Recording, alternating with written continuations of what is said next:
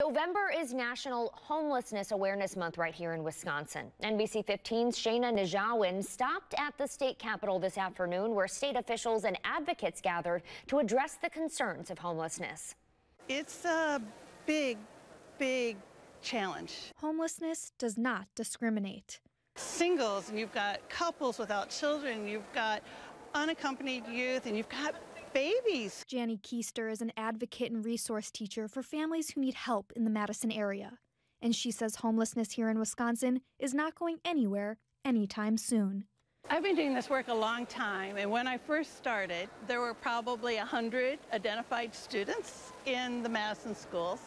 And it's not unusual now to have 1,100, 1,200 students by the end of the school year identified as experiencing homelessness. Keister feels in order to take steps towards solutions, there needs to be more awareness, which is why she is joining state officials and fellow advocates to encourage the community to speak up.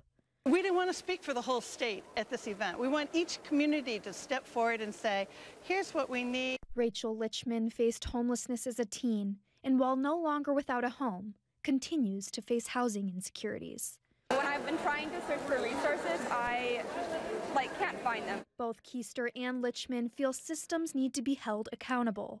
For me, it was like child welfare systems, criminal justice systems. Um, just all those systems play a role, either their inaction or their action.